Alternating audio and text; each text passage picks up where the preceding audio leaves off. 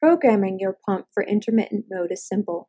The ATM style interface uses on screen prompts and arrow screens to program the bolus rate, the number of boluses, the volume per bolus, and the bolus interval.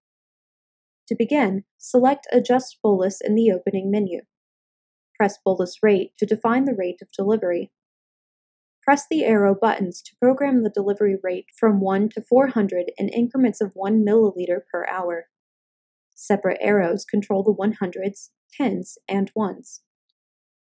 Once you reach the desired rate of delivery, press Enter to exit. Press Number of boluses to define the total number of boluses to be delivered. Use the arrow buttons to program the number of boluses up to a maximum of 99. The number of boluses can be set at zero, in which case the pump will run until the bag is empty. Once you reach the desired number, press Enter to exit.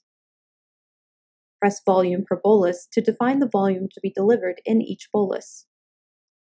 Press the buttons to program the volume per bolus from 1 to 1000 milliliters in increments of 1 milliliter. Once you reach the desired volume, press Enter to exit.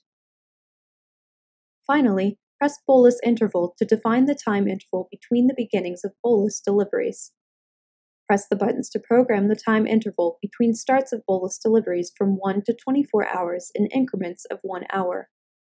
Once you reach the desired level, press Enter to exit. Press Done to return to the home screen. Then select Run to begin operating the pump.